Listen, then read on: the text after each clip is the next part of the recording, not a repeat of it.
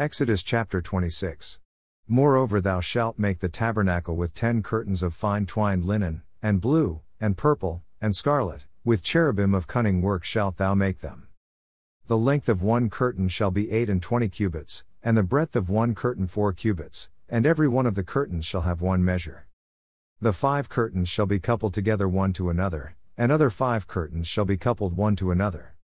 And thou shalt make loops of blue upon the edge of the one curtain from the selvage in the coupling, and likewise shalt thou make in the uttermost edge of another curtain, in the coupling of the second. Fifty loops shalt thou make in the one curtain, and fifty loops shalt thou make in the edge of the curtain that is in the coupling of the second, that the loops may take hold one of another. And thou shalt make fifty taches of gold, and couple the curtains together with the taches, and it shall be one tabernacle. And thou shalt make curtains of goat's hair to be a covering upon the tabernacle, eleven curtains shalt thou make. The length of one curtain shall be thirty cubits, and the breadth of one curtain four cubits, and the eleven curtains shall be all of one measure. And thou shalt couple five curtains by themselves, and six curtains by themselves, and shalt double the sixth curtain in the forefront of the tabernacle. And thou shalt make fifty loops on the edge of the one curtain that is outmost in the coupling, and fifty loops in the edge of the curtain which coupleth the second. And thou shalt make fifty taches of brass, and put the taches into the loops, and couple the tent together, that it may be one. And the remnant that remaineth of the curtains of the tent, the half curtain that remaineth, shall hang over the backside of the tabernacle. And a cubit on the one side, and a cubit on the other side of that which remaineth in the length of the curtains of the tent, it shall hang over the sides of the tabernacle on this side and on that side, to cover it.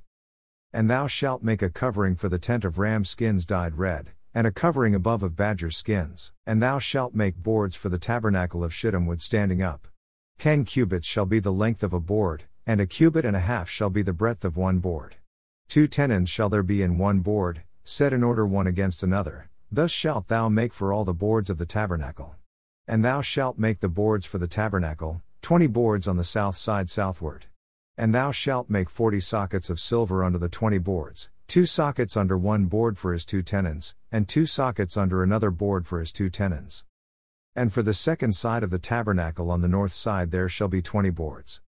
And there forty sockets of silver, two sockets under one board, and two sockets under another board. And for the sides of the tabernacle westward thou shalt make six boards.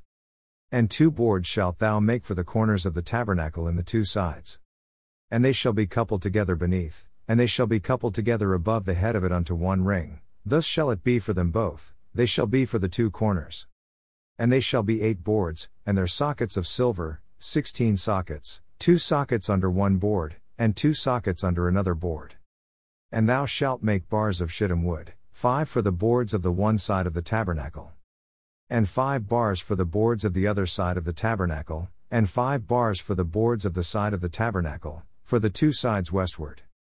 And the middle bar in the midst of the board shall reach from end to end. And thou shalt overlay the boards with gold, and make their rings of gold for places for the bars, and thou shalt overlay the bars with gold. And thou shalt rear up the tabernacle according to the fashion thereof which was showed thee in the mount.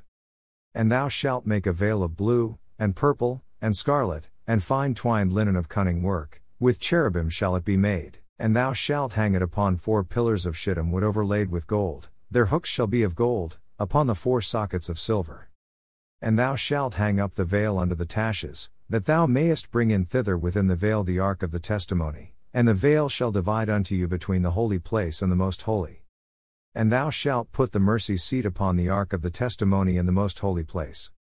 And thou shalt set the table without the veil, and the candlestick over against the table on the side of the tabernacle toward the south, and thou shalt put the table on the north side.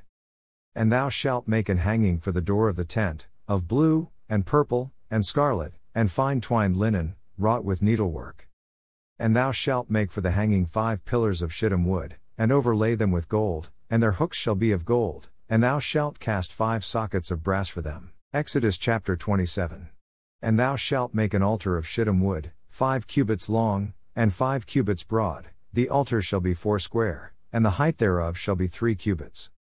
And thou shalt make the horns of it upon the four corners thereof, his horns shall be of the same, and thou shalt overlay it with brass. And thou shalt make his pans to receive his ashes, and his shovels, and his basins, and his flesh hooks, and his firepans, all the vessels thereof thou shalt make of brass. And thou shalt make for it a grate of network of brass, and upon the net shalt thou make four brazen rings in the four corners thereof.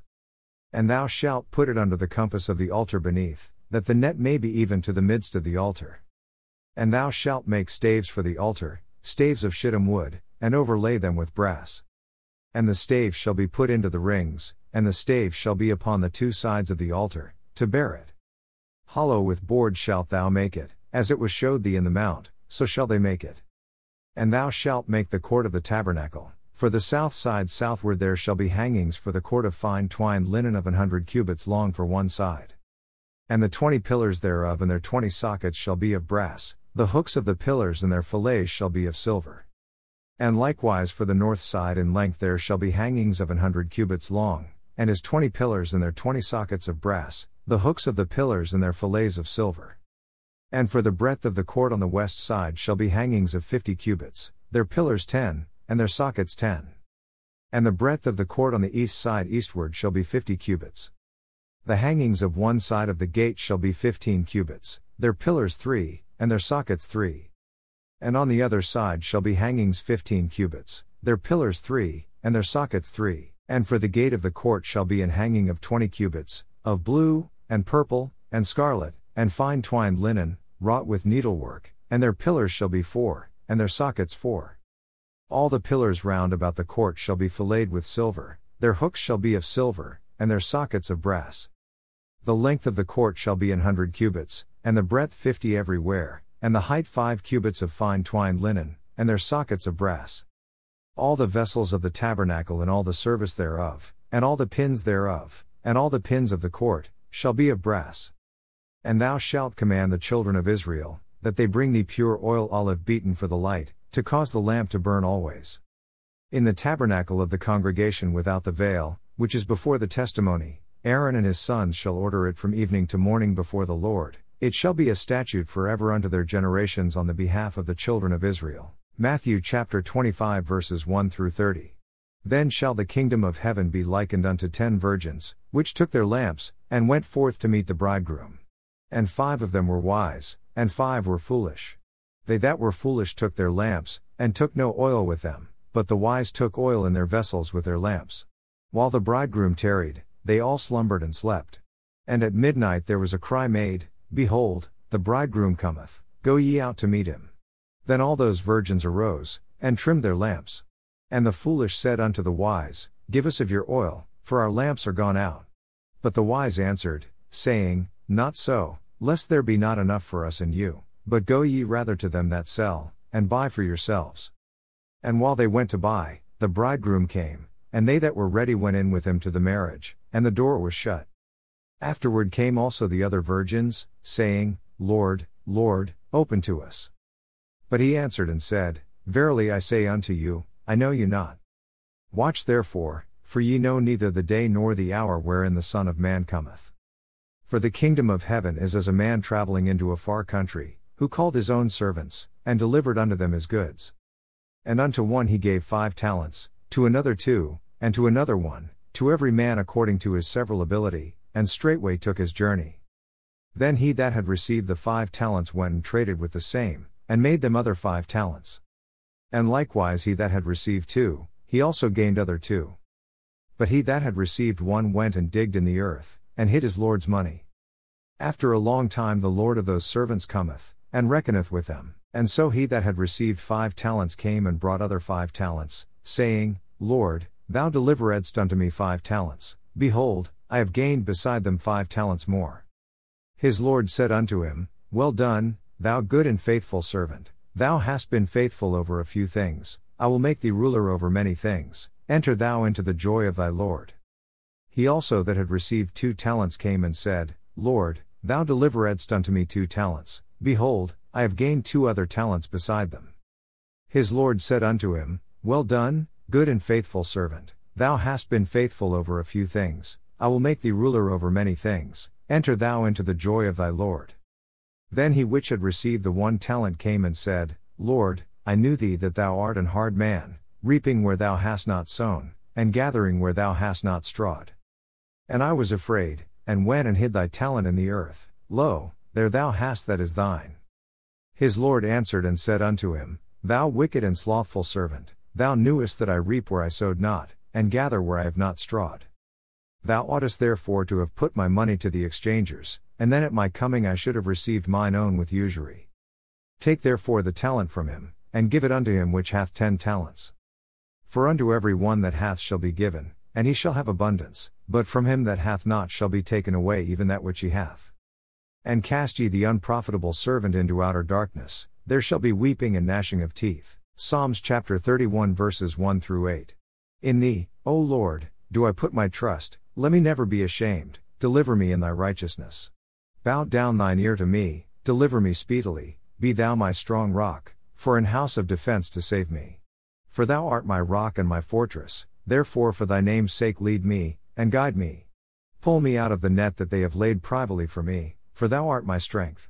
Into thine hand I commit my spirit, thou hast redeemed me, O Lord God of truth. I have hated them that regard lying vanities, but I trust in the Lord. I will be glad and rejoice in thy mercy, for thou hast considered my trouble, thou hast known my soul in adversities, and hast not shut me up into the hand of the enemy, thou hast set my feet in a large room. Proverbs chapter 8 verses 1 through 11. Doth not wisdom cry? And understanding put forth her voice? She standeth in the top of high places, by the way in the places of the paths. She crieth at the gates, at the entry of the city, at the coming in at the doors. Unto you, O men, I call, and my voice is to the sons of man.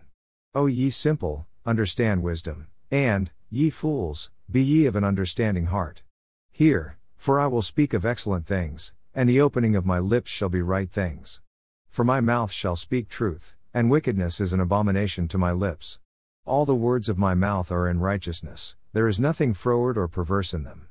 They are all plain to him that understandeth, and right to them that find knowledge. Receive my instruction, and not silver, and knowledge rather than choice gold. For wisdom is better than rubies, and all the things that may be desired are not to be compared to it.